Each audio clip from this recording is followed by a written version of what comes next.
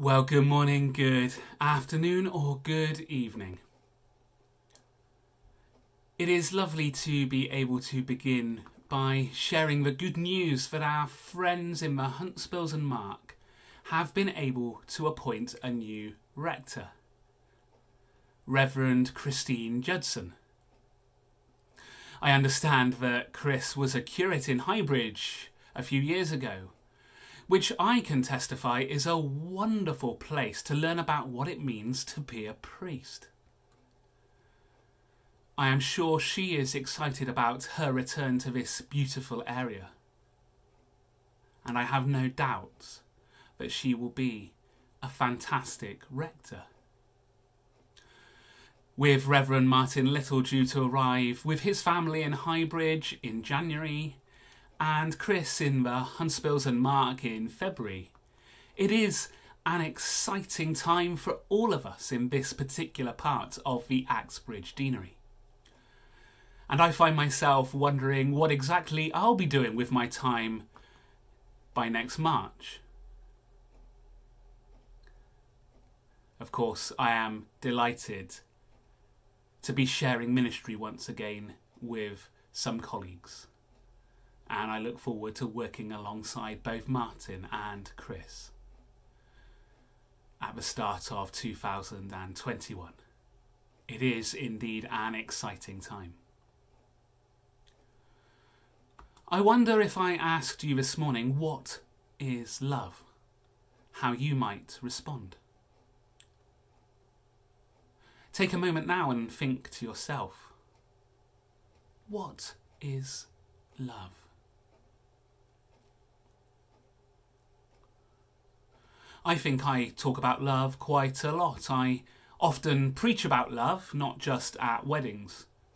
And I believe the Christian faith is based on the foundation of love. God is love, as we read in 1 John.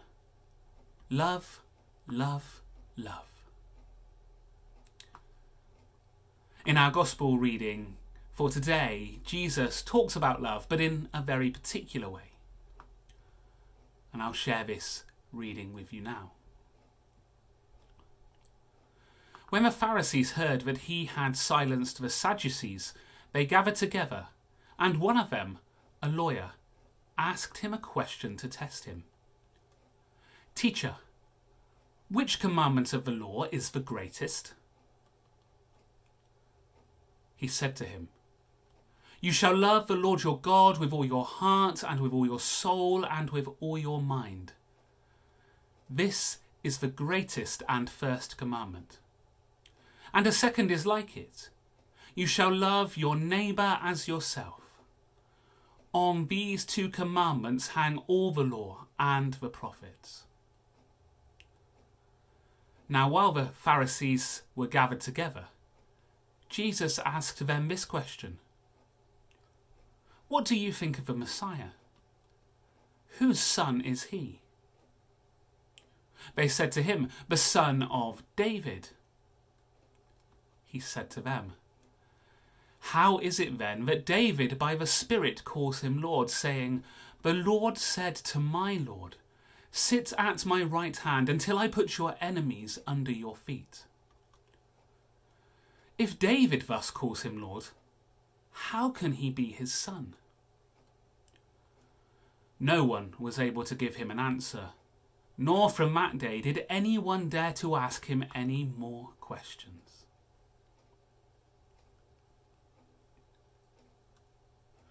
One of the first things to note about this particular encounter is that the Pharisees and the Sadducees did not like one another, but they were united in a shared dislike of Jesus. So, together they ask a lawyer, an expert in the law, to test Jesus. Teacher, which commandment in the law is the greatest?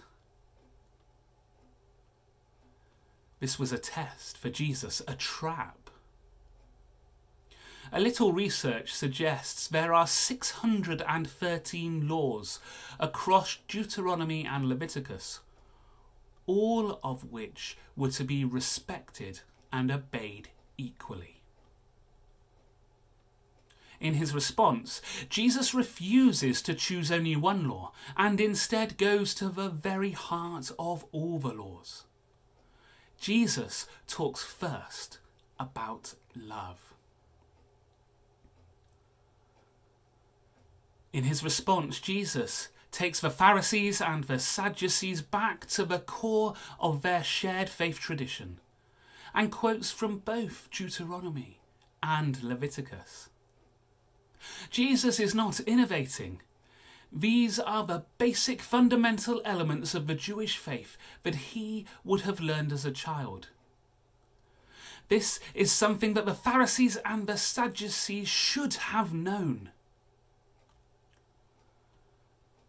As Tom Wright says in his commentary on this passage, Jesus' response was so traditional that nobody could challenge him on it, and so deeply searching that everyone else would be challenged by it.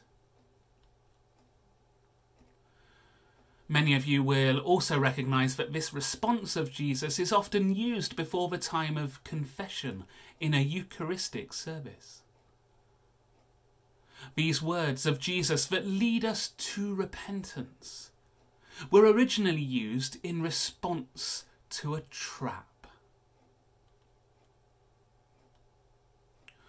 So let's return for a moment to the question I asked you at the start of the talk. What is love? Well, some brave researchers asked a group of children aged between four and eight years old about love. Here is what a few of them had to say.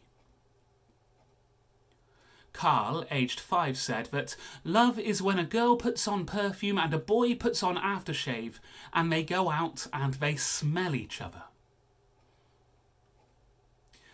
Danny, aged seven, said that love is when my mummy makes coffee for my daddy and she takes a sip before giving it to him to make sure the taste is okay.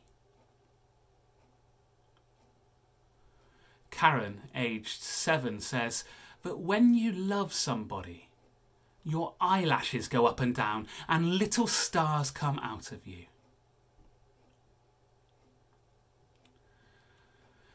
These children are responding to the question, What is love? with examples of where they have seen love or how they imagine love. They have observed some of these things in the people around them.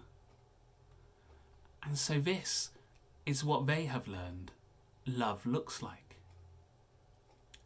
Like Carl, Danny, and Karen, Jesus learned what love is as a child through the lens of his Jewish faith. You shall love the Lord your God with all your heart and with all your soul and with all your mind, and love your neighbour as yourself. Love God with everything you have. Everything.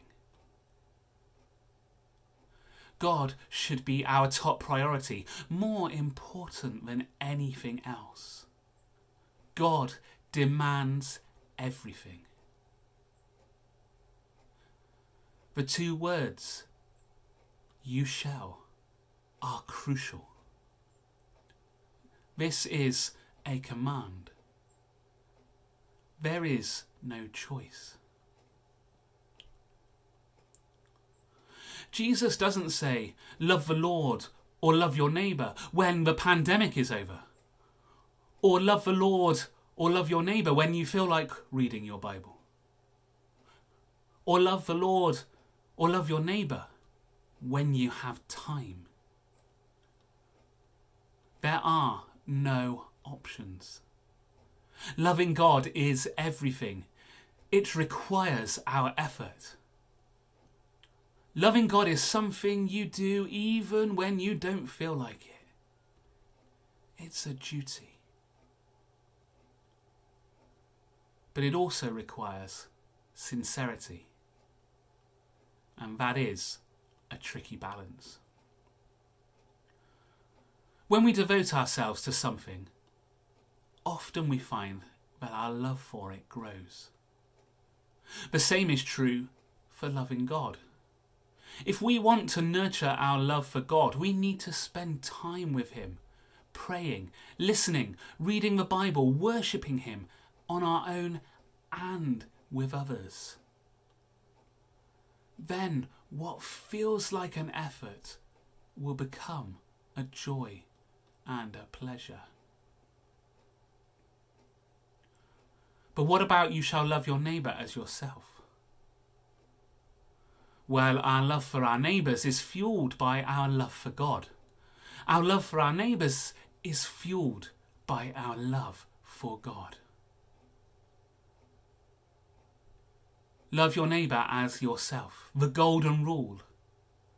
You might hear people describe it as treat others as you would like to be treated. But Jesus actually goes further. Treating others the way we would like to be treated keeps the focus on ourselves. Loving our neighbour requires commitment and sacrifice and moves the focus onto others. It is hard to love someone else as much as you love yourself. My problems are always the most important problems. That's part of being human. And if we're honest, we're probably all guilty of this. Which is why Jesus encourages us to radically love our neighbours. Today, that love might mean simply wearing a face mask, giving your neighbour or a friend a telephone call, delivering food or prescriptions, or donating food or time to the local food bank. But the radical love that Jesus calls us to is more than a feeling, more than action. It is a posture of humility and service that enables someone else's challenge to be ours. This is the answer to the question, What is love? that Jesus is offering us today. Amen.